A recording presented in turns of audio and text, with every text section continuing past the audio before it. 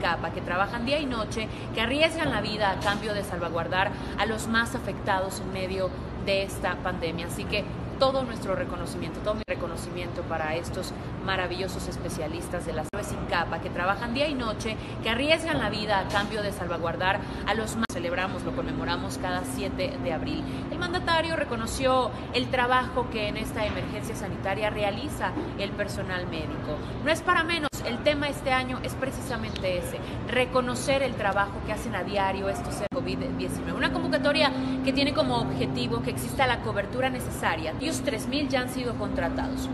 Integrando una carpeta de investigación con pruebas firmes, con pruebas contundentes, por lo que no van a permitir que una negativa, sea cual sea la intención de la misma, le permita al juez diluir el avance que hoy se tiene, que las pruebas ahí están, son fehacientes y se exige justicia.